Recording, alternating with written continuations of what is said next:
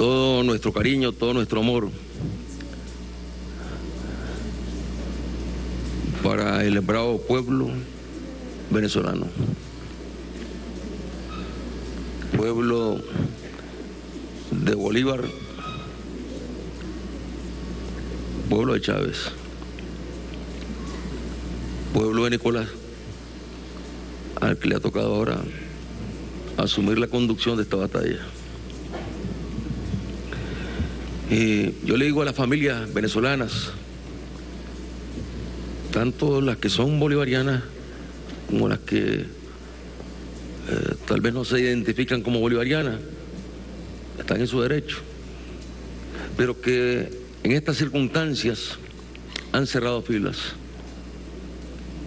defendiendo la dignidad de la patria. Nosotros hemos leído desde allá declaraciones del pueblo venezolano, de algunos líderes políticos y líderes religiosos también, rechazando esta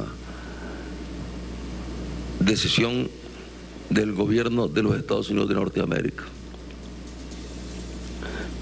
rechazándola totalmente.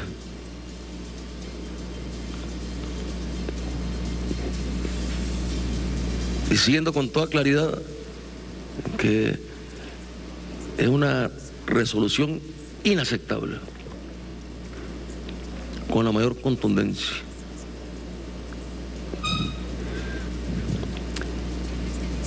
Y le digo al pueblo de Venezuela, al pueblo bolivariano,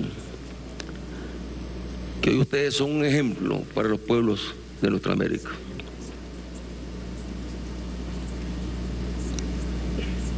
Y están dando la batalla por la independencia, por la soberanía de nuestros pueblos. A ustedes está, le está recayendo la mayor presión, como le ha caído a Cuba, porque el bloqueo ahí está. Es cierto que hay un diálogo abierto. Es cierto que hay una admisión del presidente Obama de que el bloqueo fracasó, pero el bloqueo ahí continúa. Por lo tanto, se continúa cometiendo un crimen en contra del pueblo de Cuba. Ese es un crimen, el bloqueo es un crimen. No se puede calificar de otra manera. Y con esta declaración con este decreto del presidente Obama, donde el propio presidente Obama ah, firma el decreto. Y dice decreto ejecutivo, declaración de emergencia nacional con respecto a Venezuela. Imagínense, el 9 de marzo del 2015. Este decreto es una infamia, es un crimen, es un crimen, porque todo lo que puede venir de ese decreto, ya sabemos, ya sabemos todo lo que puede venir. Yo recuerdo con el presidente Obama en la reunión de Trinidad y Tobago sus palabras de construir nuevas relaciones con los pueblos de América Latina y el Caribe.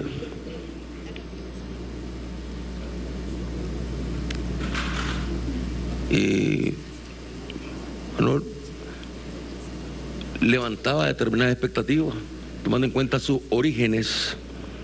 Un joven que venía de la rebeldía de la comunidad afrodescendiente en los Estados Unidos. Forjado allá en Chicago. Pero claro, por otro lado sabíamos que difícilmente un presidente de los Estados Unidos puede cambiar la naturaleza económica, política, imperialista de los Estados Unidos. Por muy buenas intenciones que tenga. Yo tuve la oportunidad de conocer al presidente Carter, recién el triunfo de la revolución. Lo visité allá en la Casa Blanca. Y bueno, un buen hombre, pero estaba amarrado de pies y manos. Inmediatamente desde el Congreso lo permitieron, lo empezaron a atacar. Y que por culpa de él, Estados Unidos perdían a Nicaragua. Y él quería aprobar unos fondos para Nicaragua. Y el Congreso sencillamente lo bloqueó. Y yo llegué a plantearle a él, fue el primero que le planteé, el primer presidente que le planteé, teniendo nosotros relaciones históricas con el Partido Comunista de la Unión Soviética, con el Partido Comunista Chino. Bueno, al primero que le planteé que nos ayudaran con equipamiento militar, con tecnología, para construir un nuevo ejército en Nicaragua y una nueva policía, porque había quedado totalmente desaparecida, gracias a Dios, con el triunfo de la revolución. Esos instrumentos que habían creado los yanquis en Nicaragua desaparecieron con el triunfo de la revolución. La respuesta que me dio ahí el presidente Carter en la famosa Casa Blanca fue que para ellos era muy difícil darnos armamento. Que podrían darnos botas, uniformes, pero no armamento. Y Estados Unidos sigue suministrando armamento en estos momentos a Israel, por ejemplo. A Israel. A Israel. ¿Para qué? Para que siga asesinando al pueblo palestino. Pero bueno, es la naturaleza del imperio. El presidente Carter, una buena persona. El presidente Obama, eh, bueno, también podríamos decir que es una buena persona. Pero ¿quién manda en los Estados Unidos? Los presidentes no mandan. Y cuando los presidentes se atreven a tomar alguna decisión, los asesinan como asesinaron a Kennedy. Así es sencillo. Los asesinan. Y bueno, hacía apenas unos días estuvimos reunidos aquí en Caracas, Petrocaribe. Nos reunimos aquí el 6 de marzo, Petrocaribe. ¿Y qué hablamos aquí en Petrocaribe? Hablamos de cómo combatir la pobreza, cómo mejorar las condiciones económicas sociales de las familias en nuestros respectivos países. De eso estábamos hablando. Con la cooperación extraordinaria de la revolución bolivariana de Venezuela, el compromiso de Nicolás de darle continuidad a la obra del comandante Chávez. De eso estábamos hablando aquí. Aquí no, no iríamos y nunca nos hemos sentado aquí a conspirar contra los Estados Unidos, sino que venimos a hablar de lo que son nuestros problemas y cómo los resolvemos, tomando en cuenta que Estados Unidos pues tiene sus propias políticas en el orden económico, en el orden de la cooperación, tiene sus propias políticas que no tienen nada que ver con la incondicionalidad con que se han llevado a cabo y se llevan a cabo estas relaciones en Petrocaribe y con el ALBA. De eso estábamos hablando. No se nos ocurría ahí a nosotros que a los tres días el presidente Obama iba a salir con esa declaración. Que se nos iba a ocurrir. Que el presidente Obama iba a salir con esta declaración a los pocos días, el 9 de marzo. Nosotros aquí el 6 y el 9 de marzo. Mucho menos se nos podía ocurrir estando prácticamente en víspera ya de mes a mes, la reunión de Panamá. La reunión donde, bueno, gracias en primer lugar a la resistencia del pueblo cubano y la unidad de los pueblos latinoamericanos se haya logrado defender el derecho de Cuba a participar en esa reunión sin condiciones. Sin condiciones, se logró. Y cuando ya se habían iniciado eh, intercambio entre Estados Unidos y Cuba, después de la comparecencia del presidente Barack Obama, la comparecencia del el comandante presidente Raúl Castro, donde eh, Obama admitió, admitió, como ya lo hemos dicho, admitió el fracaso del bloqueo. Admitió el fracaso del bloqueo. Pero el bloqueo continúa ahí. Decía, ya lo admitió, pero el bloqueo continúa ahí. Y ese es el elemento fundamental donde se pone a prueba la voluntad de diálogo y de solución a ese problema histórico que viene arrastrando Estados Unidos ante la comunidad mundial, porque ahora es la comunidad mundial la que está demandando el bloqueo año con año, que se suspende el bloqueo año con año ahí en Naciones Unidas. Y bueno, nos encontramos con esta declaración. Y, cuando uno lee esta declaración, yo, Barack Obama, vicepresidente de los Estados Unidos de América, y empieza. Pero es que resulta algo totalmente irónico que el presidente de los Estados Unidos hable de esa manera. Ridículo que él hable de esa manera. Ridículo. Porque aquí perfectamente podríamos decir, los pueblos del mundo podríamos decir, nosotros los pueblos del mundo, podríamos decir, entendiendo que los Estados Unidos de Norteamérica se han caracterizado por su política imperialista, invadiendo, bombardeando, y podemos poner toda la lista de bombardeos, golpes de Estado, y no vamos a ir a hacer la historia hasta allá, como lo ya recordaba Nicolás, que siempre hay que hacerla, no la podemos olvidar, hasta el golpe de Allende. Sino vámonos ya con el presidente Obama, después de Trinidad y Tobago. Y nos vamos a la reunión de Honduras con el presidente Zelaya. Y en la reunión de Honduras, ahí cerramos filas. ¿Para qué? Para reivindicar el derecho de Cuba, que había sido injustamente una aberración total la que se había cometido contra Cuba cuando se le expulsó de la OEA.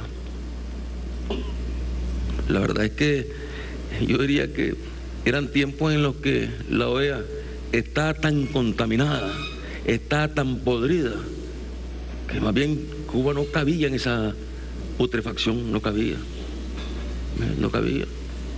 Y más bien fue saludable para Cuba quedar fuera de esa putrefacción. Era lo era. Y ahí acordamos y tomamos esa resolución histórica. Todos los gobiernos gobiernos amigos de los Estados Unidos, gobiernos que este, tenemos nuestras diferencias con los Estados Unidos, todos acordamos eh, y llegamos a ese acuerdo respecto a Cuba. Y luego como que vino eh, la respuesta, el golpe de Estado. Cuando parecía que ya no iban a haber golpes de Estado. Cuando se pensaba que ya la era de los golpes, de Estado ya ha quedado atrás con el golpe de Estado que se había producido aquí en Venezuela en el 2002 contra el presidente Chávez, estando Bush en la presidencia de los Estados Unidos. Entonces pensaba, llegó un demócrata, pero además un demócrata afrodescendiente. Bueno, y dijimos, ahora sí, bueno, Estados Unidos tiene que cambiar porque el mundo está cambiando, dijimos. Pero nada, vino el golpe de Estado. Y luego el golpe de Estado en Paraguay. Y luego el intento de golpe en Ecuador y en Bolivia. Y luego la campaña para desestabilizar a Venezuela. ¿Cuánto? ya con el presidente Obama. Entonces podríamos decir nosotros, eh, nosotros, los gobiernos del ALBA, pueblo, representando a nuestros pueblos, o podría decir los pueblos del mundo, y sacar una resolución, una resolución donde eh, hacemos y declaramos a los Estados Unidos una amenaza para la seguridad del mundo, porque son una amenaza para la seguridad del planeta. Estados Unidos es una amenaza para la seguridad del planeta. Y este no es simplemente un, elemento eh, retórico, es la realidad, son una amenaza para la seguridad del planeta. ¿Cuántos bombardeos? Ya en el periodo del presidente Obama. Cuando suponíamos que con el presidente Obama Estados Unidos iba a replegar toda su fuerza, iba a retirar todas sus tropas, iba a retirar a los prisioneros de, de Guantánamo, prometidos por él. Fueron promesas del presidente Obama. Y sucedió todo lo contrario. Y crearon una situación tras la búsqueda del petróleo, como bien se señala aquí, que es el caso de Venezuela, la misma historia. Crearon una situación en toda esa región del Magreb que está ardiendo. Desestabilizaron totalmente esa región. La volvieron ingobernable. Y resulta que ahora la gente que ellos mismos entrenaron para derrocar a Gaddafi, para tratar de derrocar al presidente de Siria, Bashar Assad, para derrocar cantidad de gobiernos en toda la región. Esa misma gente entrenada, armada, es la que está organizada ahora en el Estado Islámico. Y al cual ahora pues bueno es un enemigo un enemigo que hay que combatir y van de nuevo las tropas para allá. Pero ¿quién provocó esa situación? Si es que el Estado Islámico a última hora no es invasión, invención también de ellos para seguir jugando en ese escenario militar, político, económico. Y digo, podríamos salir con esa declaración y, le estaríamos sacando una declaración eh, que no tendría el impacto que tiene la declaración del presidente Obama. Porque nosotros, al sacar una declaración de este tipo, estamos sacando una declaración de un contenido moral, político moral, sencillamente, porque no, vamos a ir más allá. No está en nuestra naturaleza ir a agredir a los Estados Unidos o ir a organizar comandos armados para atacar a los Estados Unidos. No está en nuestra naturaleza, nunca lo ha estado. En cambio, cuando ellos dictan una declaración como esta contra un Estado, eso va para todo, porque lo han hecho con Cuba este tipo de declaraciones, la hicieron con Nicaragua este tipo de declaraciones también, antes de iniciar toda la guerra y el bloqueo contra Nicaragua. Entonces, ¿qué se puede esperar? Por eso es que nosotros reconocemos la valentía, la firmeza del pueblo venezolano que se ha unido en estos momentos en que la patria así lo demanda. Y estoy de acuerdo con lo que se ha planteado alrededor de la delegación, de, la delegación este, de delegación en cuanto a lo que se tiene que ver allá en, en adelante. lo que decían los compañeros del Caribe sobre cómo establecer una declaración donde quede claro lo que Nicolás ha venido señalando. Estamos luchando por la paz. Y ha dicho, si quieres la paz, prepárate para la paz. Muy bien lo ha dicho. Y esta, esto que mencionaba el compañero de San Cristóbal, o el compañero sin San Cristóbal, sobre el término, él decía el término coexistencia pacífica. Yo creo que es un término correcto, pero les digo, ahí van a ver, van a ver más de un congresista yanqui, estos extremistas, racistas, que piden la muerte para el mismo Obama. ¿Qué va a decir? Que estamos retomando los conceptos de la Unión Soviética. Porque fue en el periodo de los soviéticos que se levantó este concepto de parte de los soviéticos de la coexistencia pacífica. Ahí cobró mucha fuerza. Eh, y ahí se instaló ese concepto. Ese concepto como que después desapareció de la escena mundial. Y se habla a veces de cohabitación. Bueno, ¿cómo hacemos para cohabitar? Eh, eh, pero yo creo que vale la pena rescatar ese concepto, el concepto de la coexistencia pacífica. Tiene validez. Hay que digan que viene la época de los soviéticos, que establecieron esos principios en sus relaciones, eh, cuando las tensiones con los Estados Unidos. Creo que vale la pena rescatarlo, el concepto de coexistencia pacífica. Vale la pena también repetir lo que ha declarado UNASUR, UNASUR, donde UNASUR ha sido claro en cuestionar. Dice UNASUR, dijo en su declaración, dijo, manifiestan su rechazo al decreto ejecutivo del gobierno de los Estados Unidos de América, aprobado el 9 de marzo de 2015, por cuanto constituye una amenaza injerencista a la soberanía y al principio de no intervención en los asuntos internos de otros estados.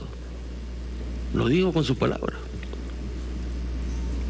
Y estos son otros, esto muestra que estos son otros tiempos. UNASUR lo dice con todas sus palabras. UNASUR, 12 naciones, 12 naciones. Y luego, Petrocaribe en su momento, su respaldo pues a, Venezuela, lo dijimos en su momento en la reunión del 6 de marzo. Ahora el ALBA aquí reunido. Y yo diría que ya prácticamente nos estamos acercando al, al 80% de los miembros de la comunidad de Estados latinoamericanos y caribeños. Porque si sumamos UNASUR con los países de Petrocaribe, quitando a los países que son miembros de, UNASUR, bueno, ya venimos sumando una unos 27 países, 27 naciones, que nos estamos manifestando claramente en contra de ese decreto y estamos demandando que se suspenda ese decreto lo que da lugar a pensar, eh, y estamos seguros que los países de la comunidad de Estados latinoamericanos y caribeños de la CELAC, igualmente, eh, igualmente no estarán de acuerdo con este tipo de, de amenazas. este tipo de actitudes. Quiero decirle al, a nuestro compañero Fidel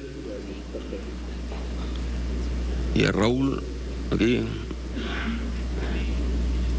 que bueno, Fidel con su mensaje como siempre y Raúl definiendo la posición de Cuba como siempre también invariable firme. Y yo creo que es ahí donde tenemos una enorme fortaleza para ir a la reunión en Panamá, que nos están viendo unidos, que no nos están dividiendo y que al contrario estamos rechazando pues esta medida en contra de Venezuela y estamos siempre abogando porque exigiendo, diría más, porque se suspende el bloqueo a Cuba. Se suspende el bloqueo a Cuba.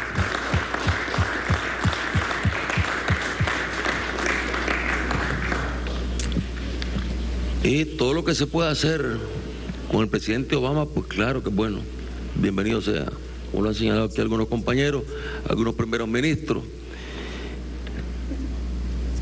Eh, estamos compartiendo aquí con los compañeros una información donde nuestra querida primera ministra de Jamaica, Portia Simpson, anuncia que el presidente Obama llega el 9 de abril allá a Jamaica y ahí mismo va a tener una reunión con el CARICOM.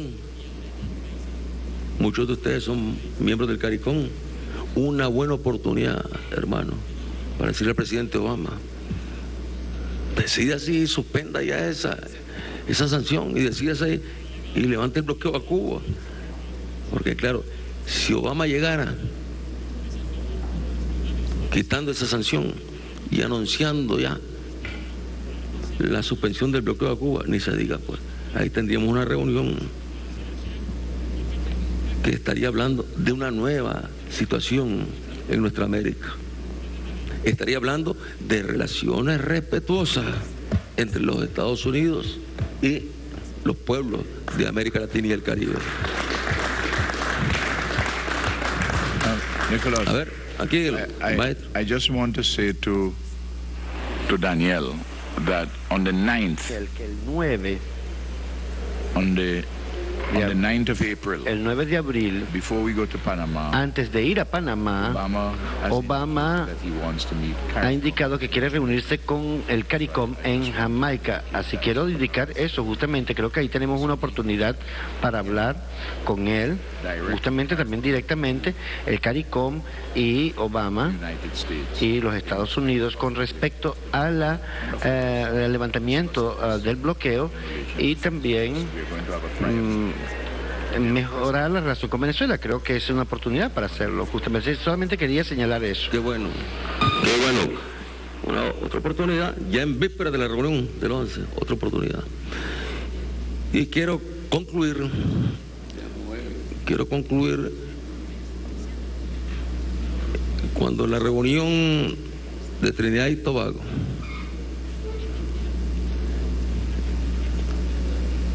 era la primera reunión a la que me tocaba ir de las Américas, porque esto se creó después del año 90, 90 y 90 94, como 94, ¿ve? como 94. En el año 1994 nosotros estábamos fuera del gobierno ¿Mm? y no tuvimos la oportunidad de participar en ese mecanismo. Y se coincidió con que nosotros habíamos retornado al, al gobierno de Nicaragua y estamos en la presidencia del SICA. Y bueno, vamos a ir, dijimos, a la reunión. Y antes pasé por Cuba a conversar con Raúl, con Fidel, y ahí mismo este, estuvimos hablando del bloqueo y Raúl me dio una notita y me hizo una notita donde me recordaba que Obama seguramente o no había nacido, o que Obama no había nacido eh, cuando, cuando el bloqueo. Y ya en la reunión eh, expresé que habían dos grandes ausentes ahí en esa reunión. Uno, Cuba. Cuando estaba presente Cuba ahí en esa reunión de Trinidad y Tobago. E hice referencia a la notita que me había entregado Raúl.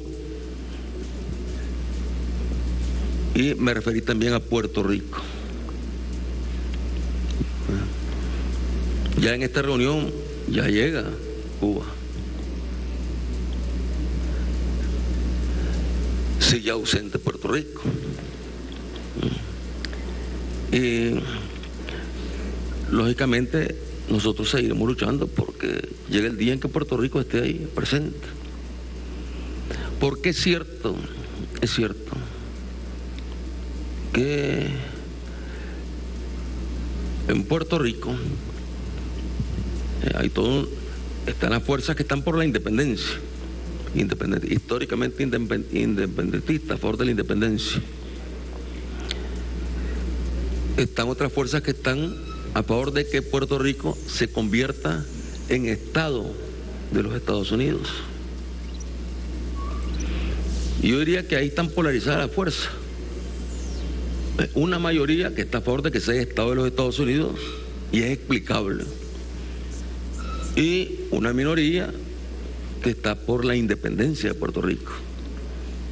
Pero nadie quiere el actual Estado de Puerto Rico, de neocolonia. Nadie la quiere. Los independentistas no quieren el actual Estado. Y los que están a favor de ser Estado de los Estados Unidos tampoco quieren el actual Estado. Si el presidente Obama ha nacido, ha nacido, a ver, el presidente Obama tuvo la suerte de nacer en Hawái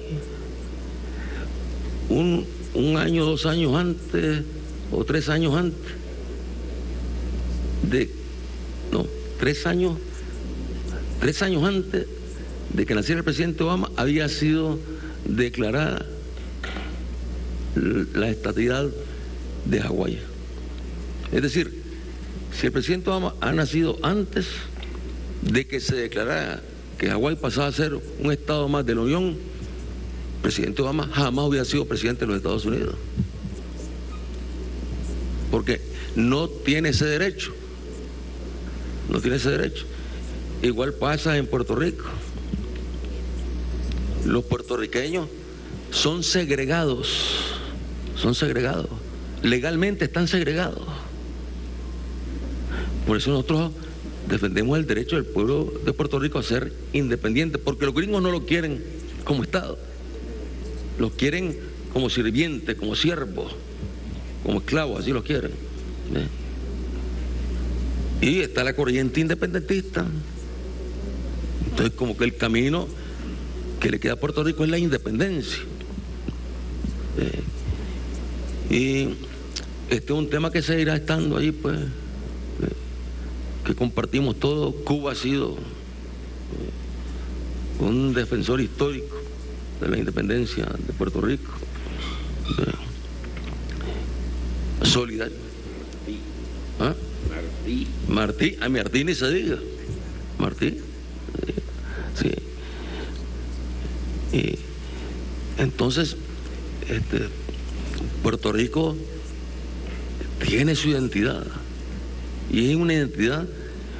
Quien no conoce a un puertorriqueño y se da cuenta que esa identidad no es la de un estadounidense, no es la de un norteamericano, es la de un caribeño. El puertorriqueño es un caribeño. Lo tiene en la sangre, lo tiene en, el lenguaje, lo tiene en su cultura. Pero le es negado ese derecho.